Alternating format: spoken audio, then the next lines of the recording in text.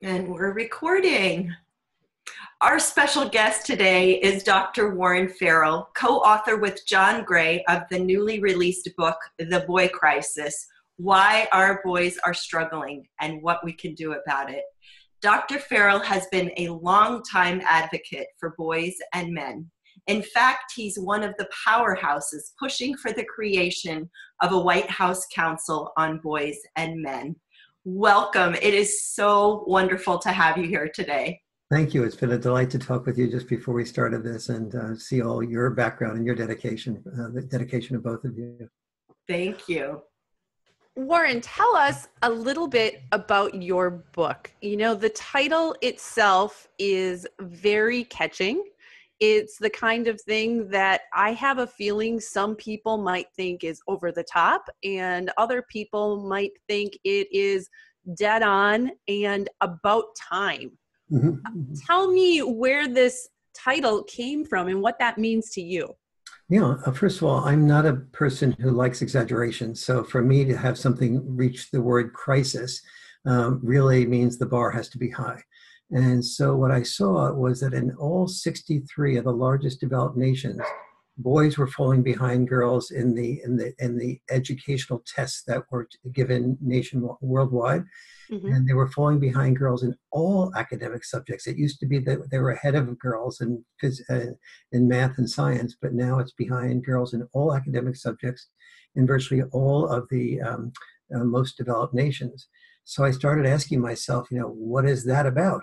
And um, that's, um, and, and, I saw that in all the developed nations, that there was two things happening. There was a gr- much greater permission for divorce because survival was enough in access that societies could get more permissive around the divorce issue. And there mm-hmm. was more permission for women to have children without being married. And so I'm, I'm sort of on, on the liberal end of the spectrum. And so I thought, what's the big deal about not being married? As it turns out, I was wrong. There's a lot, a very big deal about not being married, which is that that that when couples are not married and women have children without being married, the father is much more likely to not be remain involved in the picture for whatever reasons for more than about two years, even when the couples live together without being married. And so, um, so while I feel like people should be able to do what they want to, freedom-wise, uh, when you make the free choice to have a child, uh, then the then then the priorities reverse. You start asking yourself, "I made the free choice to have a child with the knowledge that now the responsibility to take care of the child's best interests have be- become the primary responsibility. That's my free choice." Um, mm-hmm. And so, um, and with divorce, it's one thing to have the free choice to divorce, but we also have the responsibility, having been married, to uh, make sure that the children do well and that our decision doesn't um, trump the children's benefits. And so I started seeing that, that some of the children in divorce situations and in non married situations were doing well. And those were children that had a significant amount of father involvement. They weren't doing as well as children in the intact family, but if a number of things were, were followed, um, they could do almost as well as in the intact family. And so there was, but there was a big gap between children with significant father involvement and children with minimal or no father involvement. Those children were doing terribly in more than 70 different areas on average. There were exceptions to the rule, um, but uh, they were uh, bo- both the boys and girls were doing much worse and the boys were doing significantly worse than the girls. And mm. so I started to examine this and then realized that this is, was not just that they were doing badly academically, that uh, doing badly academically often meant boys dropping out of school much more. Boys who dropped out of school, high school um, were at the 20% unemployment level in their early 20s, 20%, mm. uh, five times the national average. And so these boys were obviously girls weren't interested. You know, very few boys are, uh, very few girls are interested in marrying boys that are reading the boy crisis in the unemployment line, if you will. um, you know, uh, women do not tend to choose from unemployed men, and so because they don't want just one more child to raise, um, and so the, the, these boys were therefore not getting married or um, they were having sex uh, without being married and were not usually involved very much with their uh, with their children after the birth of the child, and so the whole cycle was continuing. but it wasn't just in the in the education or in the um, economic um, ability to have a job it was a whole purpose void, a whole sense of rudderlessness. Mm-hmm. I, a, um, and I started to ask myself, um, you know, as, as, I was researching the boy crisis, what is this purpose void about? And I sort of I realized that in the old days, you know, boys, as I talk about in the myth of male power, boys were trained to be disposable, trained to be mm-hmm. disposable in war, and we gave them social bribes to be disposable. We called them heroes. Uh, we you know, football games. We said first and ten, do it again, as in you know get that concussion again, no problem. Uh, not first and ten. Please restrain yourself and be very careful on, the, on this next play.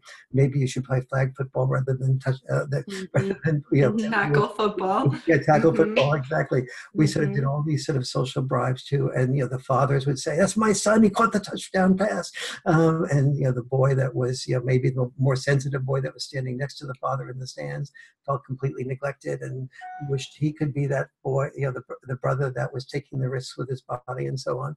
And so these social bribes led boys in the past to be able to be warriors and to be heroes or to be sole breadwinners. And these two things, even though they often led to boys' earlier death, nevertheless led to boys being more approved of if they were the sole breadwinner and were successful successful doing that or they were the um, you know the general in the army um, or the air force etc and so um, so the, the, but now with fewer wars there were fewer heroes to people you know if you were born after 1960 um, after general eisenhower you just probably can't name a single um, hero that you had in, in a military um, uh, sense.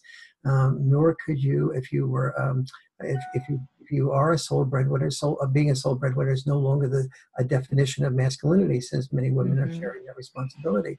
So the good news is that both of those things are less pressure on boys and men than they used to be. The bad news is that if you don't have a father figure guiding you through a much more ambiguous landscape of uh, a landscape like who who are you, son? What is unique about you? And while you want, might want to do something fulfilling, ask whether you know how to make a living doing that so you're both uh, fulfilled and responsible. What's the balancing act that that you need for that and the single biggest balancing act I discovered was having a father leading you, as well as a mother, leading you through that balancing act and helping you discover yourself, being there to, to, to put pressure on you to try things that are uncomfortable, to not give up when you fail. And the most important thing I discovered in the in the process of doing the research for the boy crisis was the importance of postponed gratification and the dad's role in that, um, mm-hmm. um, in that um, preparation for both his son and daughter to have postponed gratification, but the um, greater amount of pivotal power that had for for boys um, uh, than, than for girls.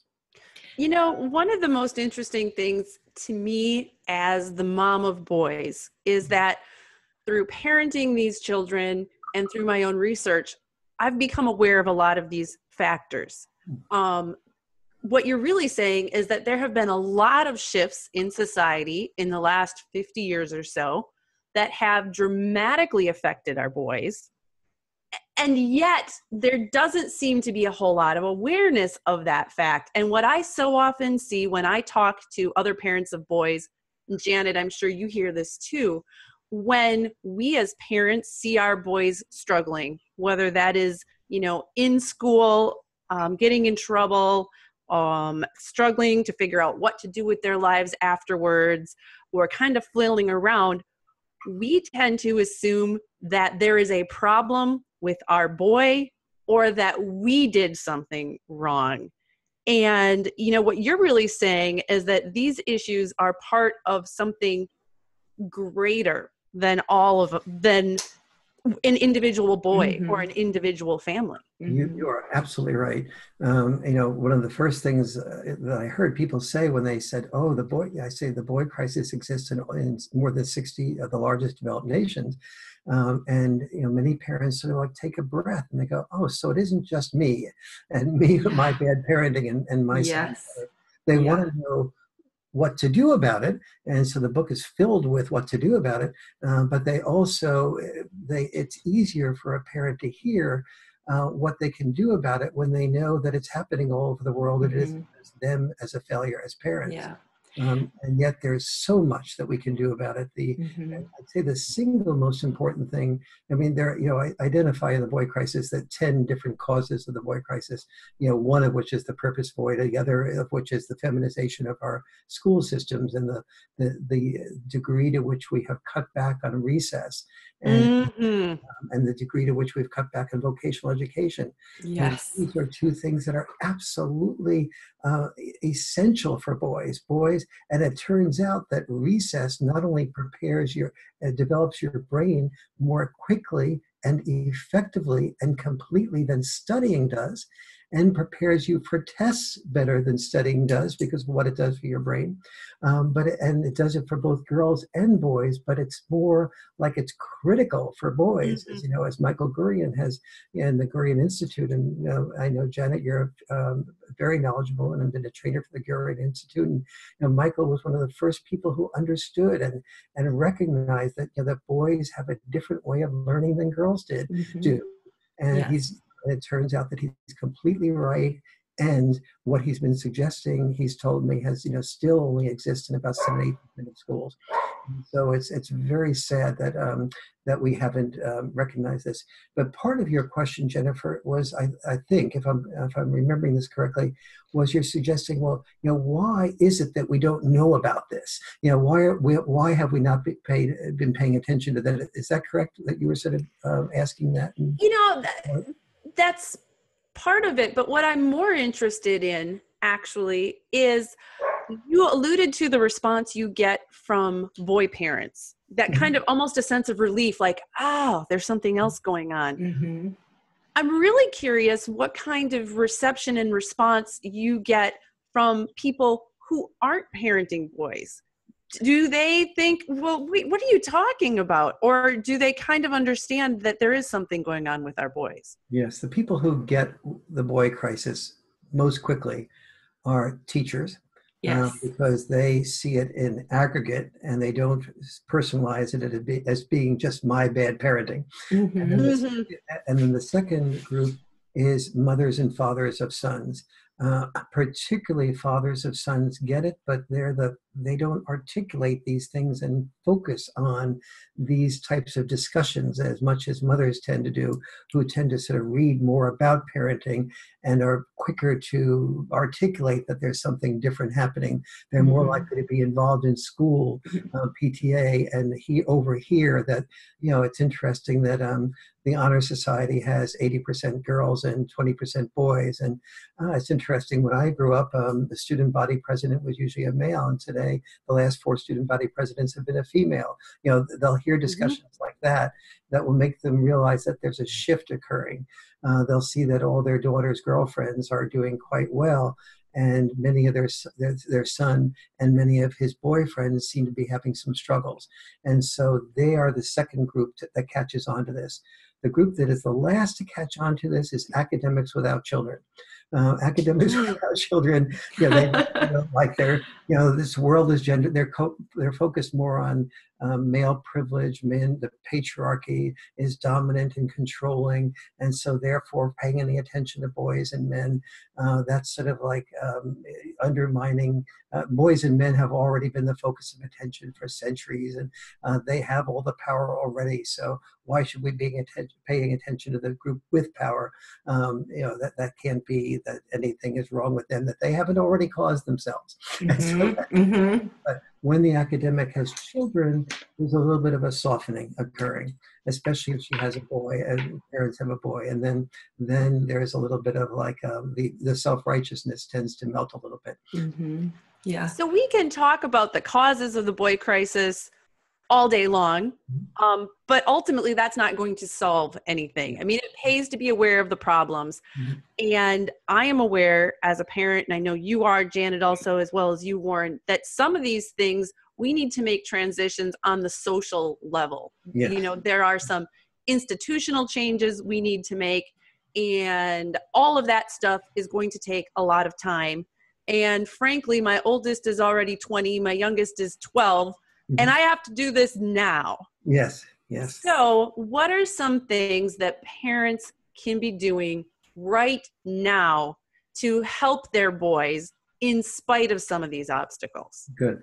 Let me start with the hardest first. Um, let's take mothers that are raising children by themselves and cannot get the father involved no matter how hard they try.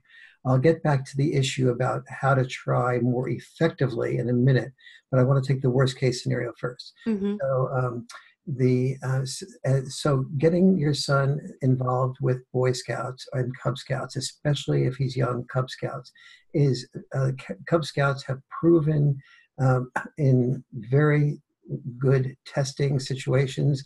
We have control groups that character development, trust, loyalty, being prepared um, is, is really an outcome that happens when children are involved with Cub Scouts for two years or more. Um, second, um, faith based communities. If you have a faith based background or you're oriented that way, it really does help to look out for a faith based community in which there is a male facilitator of a boys group where a boy, your son can talk with other boys his own age, and it's not and it is not discouraged to express feelings. Boys, because we repress our feelings, and, and boys are taught to repress our feelings, um, they tend boys tend to feel very much like if there's something wrong, like they're not doing well in school, um, that it must be their fault, and they feel ashamed, and maybe they're not bright, so they maybe try out for football or they basketball but if they don't have postponed gratification and, and from as a result of not having boundary enforcement at home, uh, they tend to not be able to do well in sports either because they don't have the discipline to, to not get distracted by a, a new a new Facebook message or a, mm. a new text um, um, desire or a new quote friend um, or a new video game that is you know the, the, the, the talk of the moment and so Fortnite. Fortnite. I keep telling Janet about Fortnite. and so um, that that so all of those things can be helpful. So the Cub Scouts, the Boy Scouts, is a, a group called Mankind Project. The Boy they're, the boys clubs, WISE, are doing good programs for boys. Um, so get uh, get your son involved with a male mentor um, to the degree possible. Make sure he goes to summer camp, um, has camp counselors that are that are that are male to help guide him. Um, make sure that you, you you press your school to have male teachers at an early age um, mm-hmm. so he doesn't go from a female only um, home to a, a female only um, classroom and then we wonder why he seeks um, got a gang leader as a as a as somebody to inspire his uh, testosterone in a negative direct, direction rather than in a positive direction so all of those things are important for the worst case scenarios now let's take a drop one drop down one um, which is the, the the mother who maybe could get the father involved, but maybe feels the father's irresponsible or a little bit insensitive and stuff like that. And so let me work with that for a moment. You know, um, this is one that I think is so important to talk about, not only in, in situations where the mom and dad may not be together, but mm-hmm. Janet, I know this is a situation that frequently comes up in married couples and um, Warren, I know you do couples counseling, and I'm sure you see and hear plenty of this too, where, and I'm going to admit, I, I fell into this early on too this idea that I know the right thing to do with these kids, and mm-hmm. Um, mm-hmm. you're wrecking things over here. Yes. And yeah, I'm not yeah. proud to say that. I know that that was harmful in um, many ways, but the, the fact there that the fact that you can acknowledge that is um, you are a, a, a, massively large step ahead of many many moms, uh, and, and, because. The, the, I'm also eight years post divorce, Warren. So. Yeah. well, and I talk about this in a lot of my talks. And Warren, I so appreciate all that you brought in your book because I've been using it in my um, in my workshops and my talks over the last month or so. And really speaking to moms about hey dad is doing you know dad is going to parent differently and honoring that. And after every single talk i've given i have had one or more dads come up to me and say thank you. Thank you for acknowledging and recognizing how i parent and and and also for telling my wife that you know it's okay. She sure isn't going to listen to me. Right right right. absolutely. The and so th- this was a real education to me too because i you know um, so, so let me first of all let me deal very quickly with the divorce situation you mentioned at the outset, Jennifer, and then go and then go to the everyday family situation. So the divorce situation is very clear. If you if you if you are divorced and you want your children to the to do the best possible, which of course you do, um, there are four must do's that I talk about in the boy crisis. I'm not going to elaborate, but at least I want to mention those. The first is that they're really the children that do the best are the ones that have about an equal amount of time with father and mother after divorce. Having an equal amount of time with father and mother after divorce is actually more important than having an equal amount of time with both parents during marriage, um, for reasons that I talk mm-hmm. about there, but you just need to know the bottom line here. Second is that they're the father and the mother, the children that do the best are ones that have father, the father and the mother after divorce live within about 20 minutes driving distance from each other so that the children never have to resent the, the non-custodial parent or the minimal custodial parent uh, for taking them away from, for their, from a, from a, a, a, a, baseball game or an activity that they're involved in or friends need to go to their a friend's mm-hmm. birthday party or so on um, the 3rd mm-hmm. thing is the child must be able to detect no bad mouthing or emotional body language that makes your, the child not feel good about speaking well about the time that she or he had with the mother or the dad when they weren't uh, yes. uh, with, with the other. Um, that will close your children down very quickly. And fourth, it's really important they're not that they're not just be couples communication counseling, but that the couples communication counseling be predictable and consistent. So you're not just going to a counselor on an emergency where you're more likely to see that your wife or your husband is being the bad person um, who's at odds with you during this emergency, which is part of what's caused the emergency is your difference.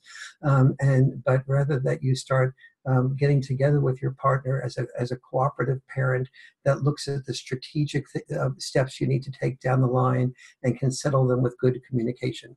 So, so I just want to give a um, shout out and some hope to all the divorced parents listening who are like, if that's what it takes, I don't stand a chance. Mm-hmm. Um, because I'm here to tell you that my ex and I uh, do good on number one and number two.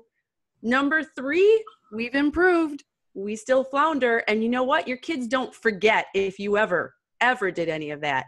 And I have to say, Warren, number four sounds um, completely unrealistic for most couples because there's usually reasons you divorced and a lot of it has to do with the person you know wouldn't go to counseling in the first place.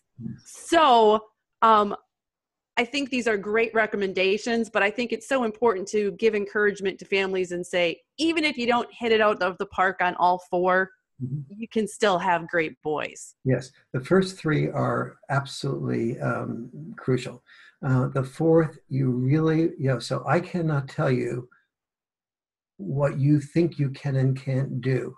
I can only tell you if you say to yourself, anybody, or to God that you really want your children to do as well as possible, then this is what it takes.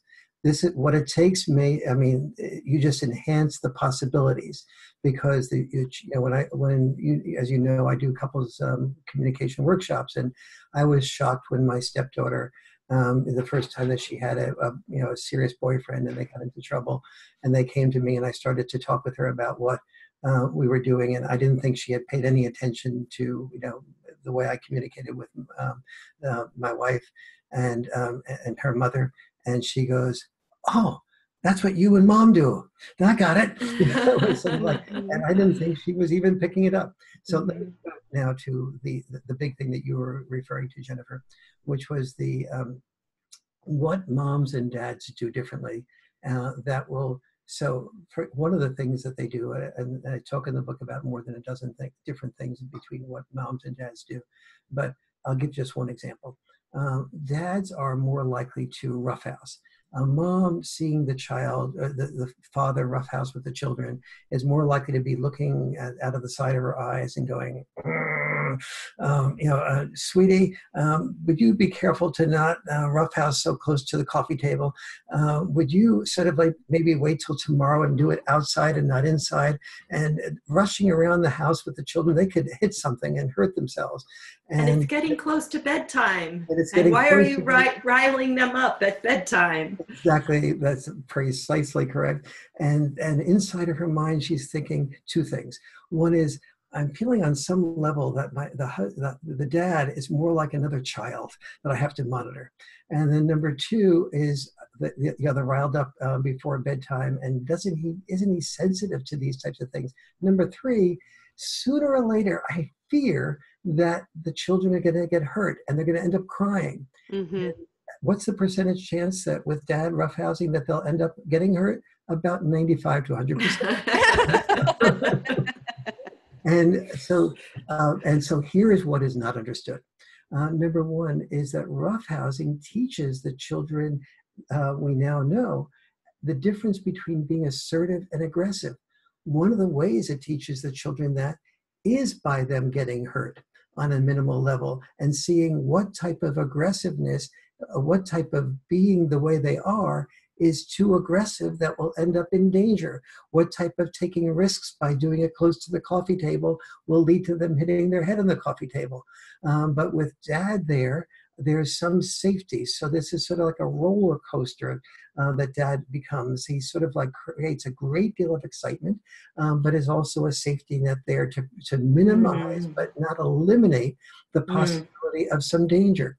And so all of this teaches the child how to develop its brain, develop it, increase its intelligence, and increase its awareness of what is and isn't dangerous in the framework of it not being so dangerous that you do this um, on some ski slope somewhere near, yeah. near the edge of a cliff. And so, th- so that's just the beginning of the process. And remember, if you're a mom listening to this, dads do not study these things. Dads don't therefore articulate these things to you. So don't blame yourself you can't hear what dads don't say. And dads have not, this has not been the way that men got your love in the past. The way that men got your love in the past was being, uh, when the children were born, being uh, in, involved in the father's catch 22 of being involved with uh, earning money to raise the children rather than raising the children directly. So they read about things that it took to earn money to get the, the family's love um, not to to do these types of things. Mm-hmm. So they don't also articulate that. That is, dads don't also articulate the fact that that what they're doing with both of your children or all your children is building a bond. Uh, of, through that physical activity where the children see themselves their dad as their partner their their their friendship um, person and they love the time and they're excited about the time they're looking forward to the time and almost always, dad uses this as leverage to enforce boundaries. So, statistically, moms are more, when the children are with moms, they will, the moms will set earlier bedtimes. Dads will set later bedtimes, but the children being raised predominantly by dads will go to bed earlier, even though the bedtime was later. And one of the one of the reasons for that is that the father will typically say something like, "Okay, you know, we've had some nice roughhousing. Um, you know, uh, we we can between bedtime is nine o'clock. Any time between now and nine o'clock that you get your homework done, your chores done, you're dressed, teeth brushed, etc. Uh, that's your time. We can either roughhouse more, or we can I can read you in bed. I can do anything you know you want." And the mom is sitting back, like you said, Janet, going, oh, "Wait a minute, not you, you didn't promise them that you would roughhouse before bed, did you?" Um, um, and like thinking, like you must be crazy to get them all riled up before bed, and but yet the children go to bed, uh, so they they rush to get everything done. Um, you know, so they have as much time as possible before that bedtime, and then the, and then the father is much more likely to say, "Okay, you know, you didn't do your homework, and it's now nine o'clock and that's bedtime, that's your problem. You're going to have to deal with that by not doing, you know, while at school. And then the children start learning that um, if they wish to have more fun before bedtime or have what they want, they need to get that done. That's what begins to, that type of thing is what begins to increase postponed gratification, where the child learns that she or he cannot have what she wants to have or he wants to have, the roughhousing, until they do what they need to do first those children with the postponed gratification, that becomes the single biggest uh, quality that predicts success. Because the boy or girl with the postponed gratification is able to um, get that homework done without getting distracted by the video games, the texts, or whatever, and therefore do better. And here's what the really powerful stuff is they don't begin to fall down the slippery slope when they cannot get that homework done, they begin to feel ashamed that maybe they're not as bright and as competent as the other kids, and they start turning inward when they when they can't practice for a, a, a, team that they want to be on because they don't have the discipline to do the routines that it takes to be successful in anything over again including sports uh, they start feeling ashamed of themselves in that area. That's when they begin to withdraw into video game addiction not just video games that are healthy and they and then when they if they when they get to boy girl age and the and the girls aren't interested in them as i was mentioning before they start turning to porn. And a little bit of porn is one thing. A lot of porn does a huge amount of damage to the to the brain and it increases dopamine only when you take greater risks with girls and women um, or with boyfriends if you're if you're gay. And that becomes a very dangerous um, type of um, addiction because real life, especially real life females, are not high into starting out in the beginning of a relationship taking a lot of risks. Um, and so therefore they feel objectified, they withdraw, they don't want to come back to your son, and the and the boy feels that the, that he knows he thought he was a loser, now he knows he's a loser, and so how does he solve that by turning to more porn and the problem continues. In worst case scenarios, severe depression, severe worst case uh, scenarios, suicide, and in the very worst case scenarios, as we know, almost all of our school, our shooters, our mass shooters, are dad mm-hmm. deprived. Many of our school shooters are dad deprived. What happens to the boy is he feels like nobody at school respects me. You know, my, you know, the, I, I'm, I'm, oftentimes this boy is a sweet and sensitive boy, and he doesn't feel respected and desired for his sweetness and his sensitiveness, sensitivity and so he starts getting angrier and angrier not only at the at the his fellow students but also at the teachers and other mm-hmm. people who didn't respect him and in worst case scenario that, anger can manifest in a school shooting mm-hmm.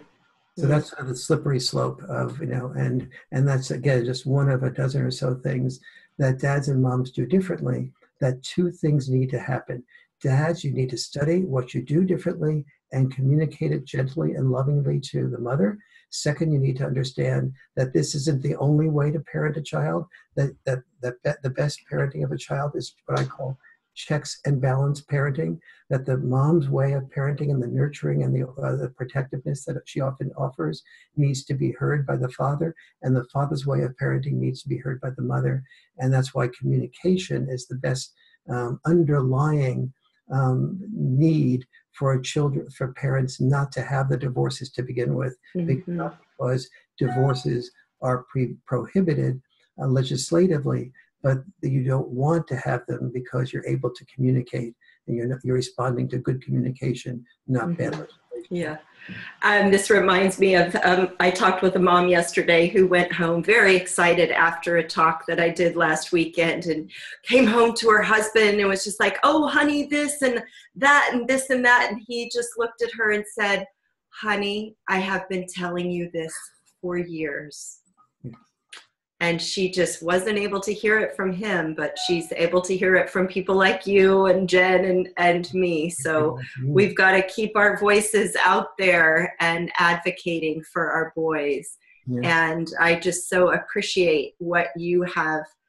brought out into the into the conversation with this book thank you very much and, mm-hmm. and really uh, thank you for all the speaking you're doing because you know every time you give that presentation um, and a father feels heard a father then feels needed. And when yeah. men when men feel needed we do anything to feel needed. We were willing to die in war because we were felt needed. So if we're willing to die to be needed we're clearly w- uh, willing to get more involved with the family if we feel needed that way. Yeah Thank you so much for joining us today, Warren. If people are interested in picking up a copy of your book, I know I ordered mine on Amazon. Do you have um, a, a, website or something people should check out also? I do boycrisis.org. Um, and certainly that has a lot of information about it. But it, you know, the least expensive way of ordering it is Amazon, and um, and Barnes and Noble is also doing a good job of almost competing with Amazon. all right. Oh, thank you so much, Warren, for being with us today. And I know all of our listeners are have a lot of food for thought, and I hope that they will reach out and buy your book and become advocates. We need everyone on board to advocate for our boys and our men and our dads. Thank you for supporting family and um, and not only the benefit to our sons but to our daughters. Absolutely. Yep. Everything we do for our boys is for our girls as well. Yes, absolutely. It's Thank- one of the wonderful things about this area is that whenever you're either only one sex win, both sexes lose.